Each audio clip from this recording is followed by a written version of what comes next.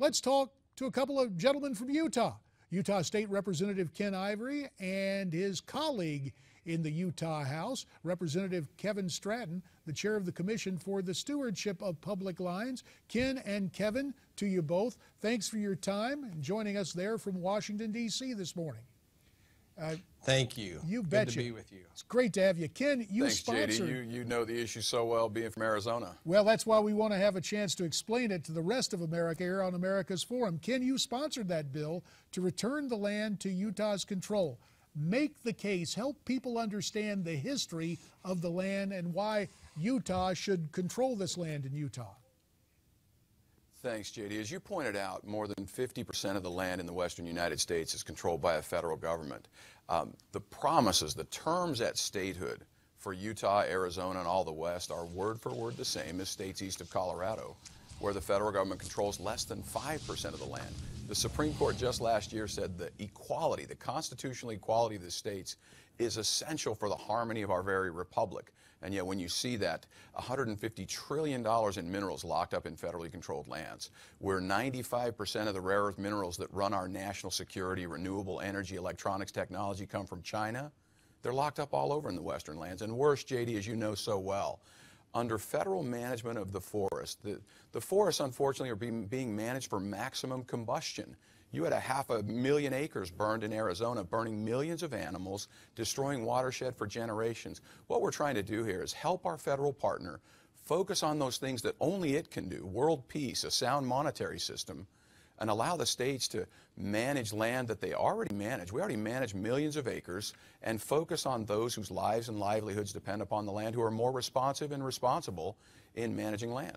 Uh, Keven, as Ken was talking, we were looking at some striking scenes from the western United States, but this is not about running roughshod over national parks uh, and not all monuments. It's really just a question of people closer to home controlling land within their sovereign borders.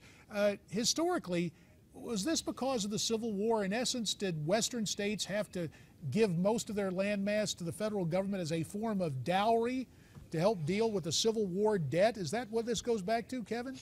It actually goes further back than that, JD, to uh, the formation of our country. It was a pattern that took place with as each state came in the Union to pay for the war back back of the Revolutionary War. So it's a pattern that's been repeated throughout time.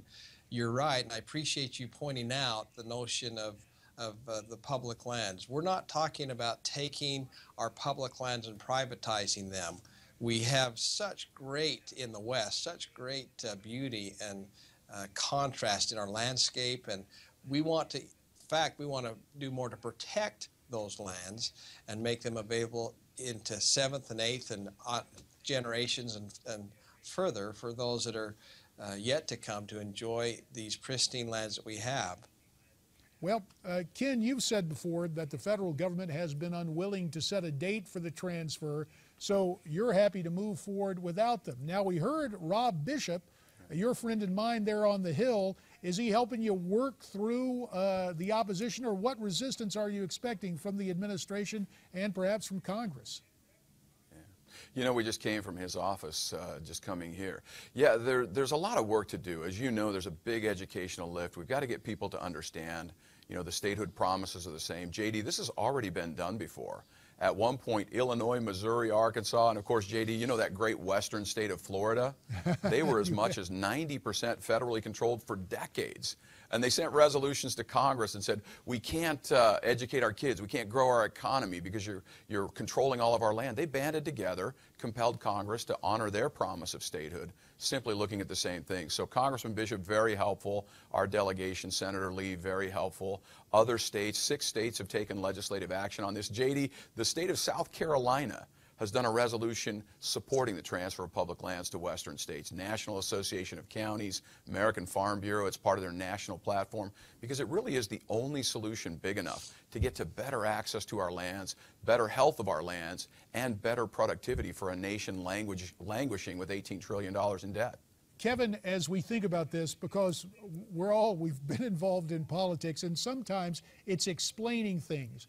Does the term is the term public lands a term that's incorrect because people back east, oh, it's like a public park, it's like a public library, when in fact we're talking about federally controlled lands. About a minute to discuss that, that topic. You know, I appreciate that, JD. When I when we talk about the states' rights and each state being equally equally uh, yoked across state lines, we look at what takes place in the east. It's hard for someone to really understand what it means in the west. And one analogy I, I often use is, go home tonight, take Roundup and spray it on 66% of your lawn, uh, rope off six rope off your driveway, not not horizontal, not not vertically, but horizontally, and, and rope off 66% of your home. The reason I use 66% is that's what uh, the, the percentage of land in Utah is federally controlled. And see how productive you can be in your home and, and see what it's like to have your lawn uh, mismanaged and, and not have the access. So what, when we talk about it, it's really in, in the East, really, federal ownership is the, the federal courthouse downtown. It's, it's it's when we do talk about public lands, though, we need to make sure that, that we are clear on this issue that the public lands, the treasures that we value, are going to be enhanced and strengthened, not diminished when we talk about the transfer of public lands. We're talking about the transfer of management from the federal government to the state. And it's, it's a little bit like this. If you have a garden in your backyard, who's better to apply the proper water, the proper It, it should be the- the gardener. That's, That's right, Keven. the Not your gardener, instead neighbor. Somebody on Not- some, not somebody calling in from from the East Coast telling Exactly. me what I ought to do. So that's Unfortunately, a couple of we got it, guys. Ken, Keven, thanks so much. Our time is up. We'll touch on the issue again soon, and America's Forum will continue following this Newsmax Now update.